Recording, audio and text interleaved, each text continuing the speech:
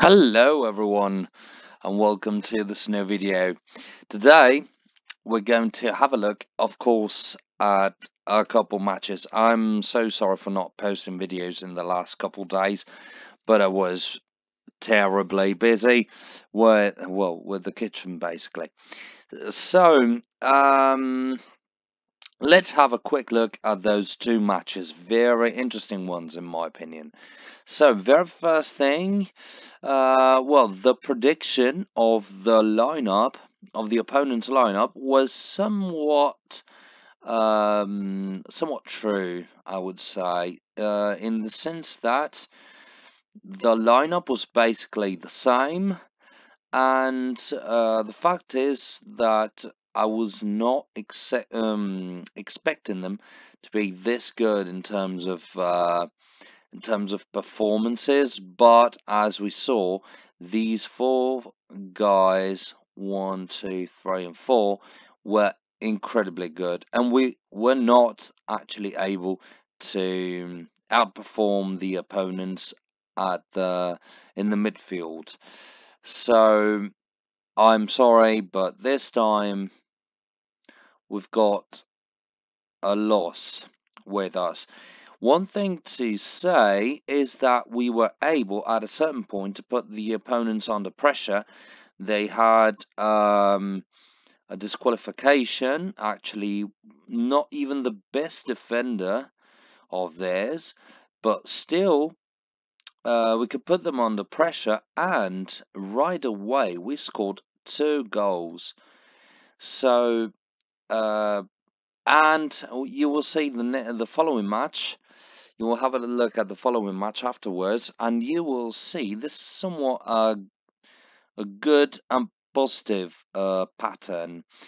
Let's have a look at the stats. 55% ball possession and I am pretty sure this happened mainly after the opponent's disqualification uh, with uh, 13 shots for us and 6 for the opponents, 7 shots on target for us and 4 for the opponents. And what is very worrying is the fact that they could score three goals out of five, no, sorry, out of four shots on target. Uh, we were playing attacking, very attacking, actually. Um, this is what put them under pressure, but this is what probably led to this kind of score because our goalkeeper, of course, is a good goalkeeper, but the opponents had very, very good strikers, as we saw uh, in in the lineup video on uh, Wednesday. So yes, but that was somehow somewhat uh, lucky in a certain sense because uh, one of the opponents was disqualified, but at the same time it was quite unlucky because had the match last, uh, I would say ten more minutes, we might probably have been scoring the the one more goal and we might be talking about a draw. But that's uh, we'll we'll try to better manage that in the future. So five set pieces against five. So quite well balanced. One yellow card only so I'm very satisfied with uh, with our players performance this time.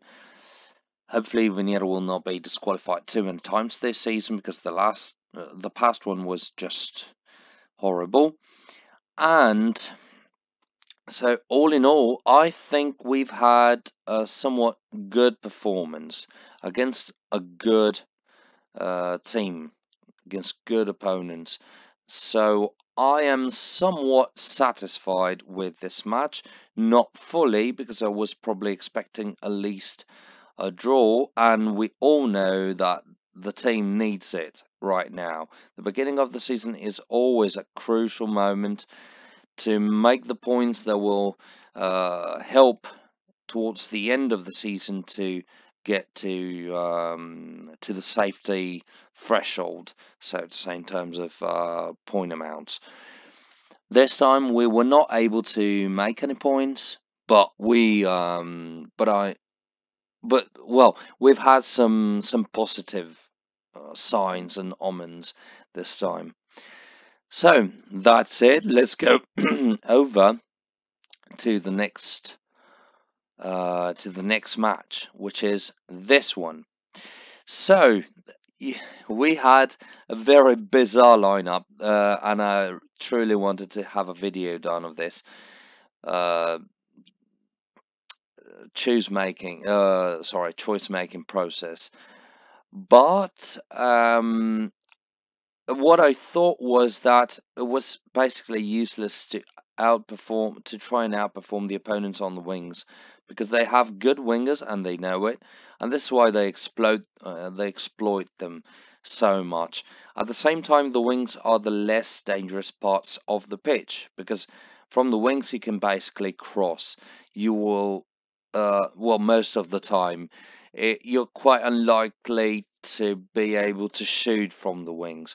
So I thought, all right, they're very strong on the wings, so it's just pointless to uh, try and and outperform them on the wings because we would not be able to. We don't have the players to.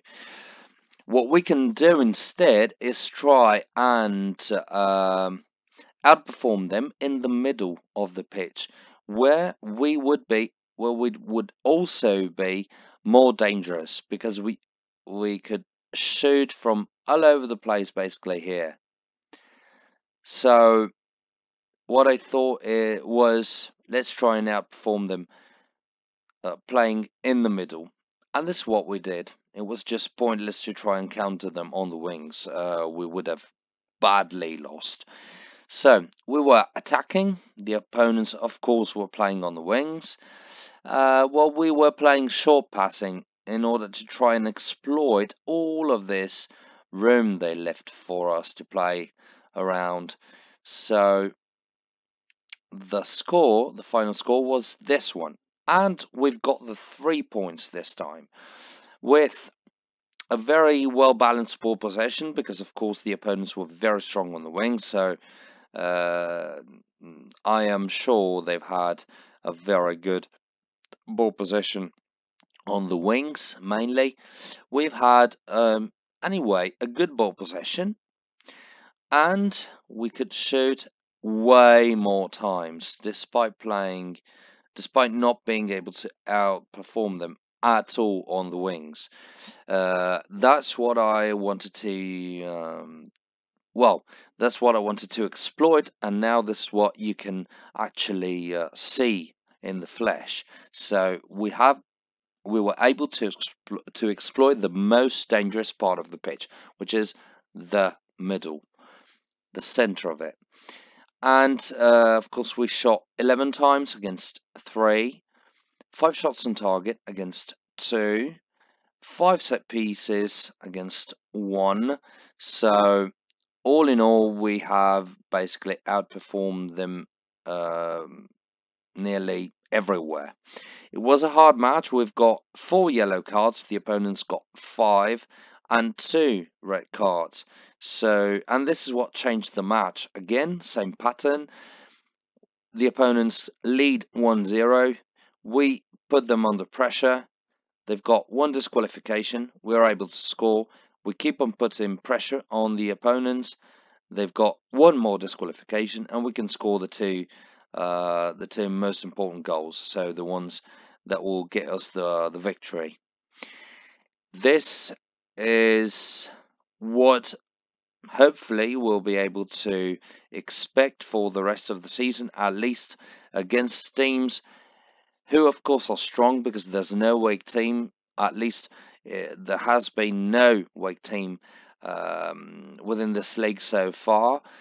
But uh, if we could find a few uh, teams with one weak point like this one that we can actually exploit like this time then we'd be able to to make the points we need to get uh, up to safety and away from the relegation zone. Let's have a look at this uh, the league. Mm, well we are at the beginning. Only two games were played by all of the teams here so it's not so the meaning of this uh, of this board is nearly zero but uh, we might probably have some more interesting indications in the future weeks. So, guys, um, thanks a lot again for watching. I wish you all, guys, I'm sorry for being late, uh, an immensely Merry Christmas. And uh, see you all in the next video where we will probably have some tough decision to uh, to make, uh, some tough choices to make because this this league, as I said at the very beginning of the season, will not be an easy one. Well, this season will not be an easy one. Thank you again, and see you in the next video. Bye.